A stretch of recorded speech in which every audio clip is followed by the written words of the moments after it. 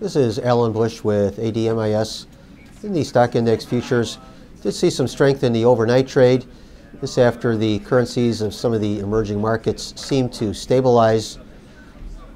Also, we did have the durable goods orders report coming in much weaker than expected. In fact, it was anticipated to show an increase, actually coming in with a decline.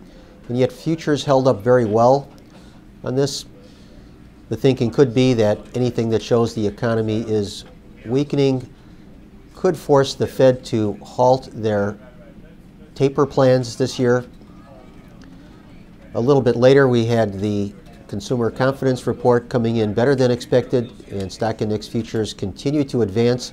So it seems that even though uh, we do get some reports that are a bit negative, some reports a bit on the positive side as far as the economy is concerned, stock index futures continue to perform well uh, in light of basically any report that we get uh, as far as the uh, economy is concerned. So that has to be viewed as a sign of strength.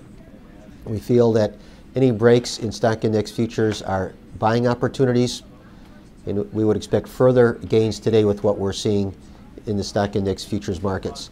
Over in the currencies, the dollar index trading higher on ideas that the Fed will announce an additional taper of their QE at their two-day meeting that starts today.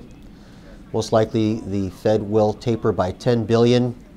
So the taper, if they do announce that, that would put upward pressure on short-term U.S. interest rates, which is bullish for the dollar. So I would look for follow-through strength today and uh, early tomorrow in the dollar index.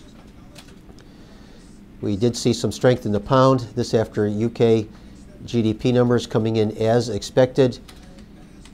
Most likely the pound will continue to advance longer term.